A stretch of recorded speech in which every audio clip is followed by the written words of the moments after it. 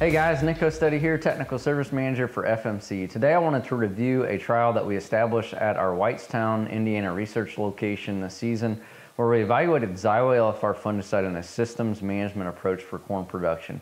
For the purpose of this video, we want to focus on three specific treatments, those being the check, Xyway LFR fungicide applied at 15.2 fluid ounces per acre in a 2x2x2 placement, which effectively places a subsurface band two inches on either side of the row. We also looked at a sequential management strategy of Xyway LFR fungicide at 9.5 fluid ounces per acre. And then we came back at tassel time with a foliar fungicide concept that we're developing. It's a new triple mode of action material called Adastrio at 7 fluid ounces per acre.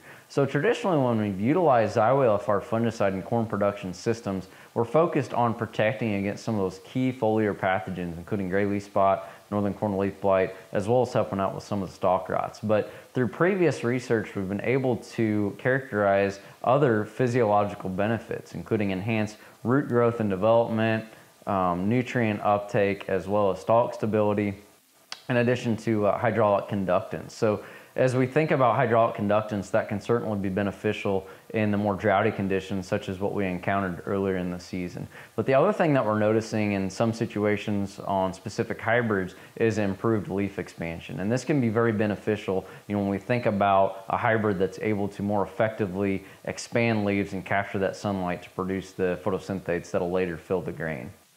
So with this in mind, I think it's important to evaluate some of the evidence we've been able to document over time supporting these physiological attributes. And so I'll just go through bullet points one by one, starting with improved lower canopy retention. This is a phenomenon that we've observed in low disease and high disease environments stretching from the mid-south on up into the northern plains. And as we think practically about what this can accomplish in terms of crop productivity, if we have more leaves on that plant that are still photosynthesizing, it can potentially feed the roots and stalks later into the season, which brings me to my next point, which would be improved root development. And so this is an area of study that we were able to quantify when we were developing the material, but we wanted to take it a step further and we did some work with the crop physiology group at the University of Illinois.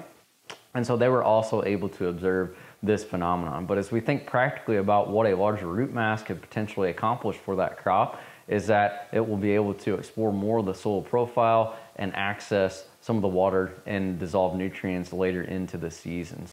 So this brings me to the next attribute, which would be improved stalk quality and pith health. And to provide evidence for this, we can refer back to the study that was conducted at Whitestown looking at the check treatment. As we evaluate the exterior of the stalk, we're seeing more browning. Now splitting those stalks, evaluating the crown, pith and nodes, we do see quite a bit of deterioration happening and this can be an obstruction for vascular transport later in the season, which may result in premature death of the plant. As we move into the Xyway LFR fungicide application applied at 15.2 fluid ounces per acre in that 2x2x2 placement, as we evaluate the exterior of the stalk, we see good green color. Now splitting those stalks, looking at the crown, pith and nodes that are free of deterioration, allowing that vascular transport to occur later into the season and help us with our kernel fill characteristics.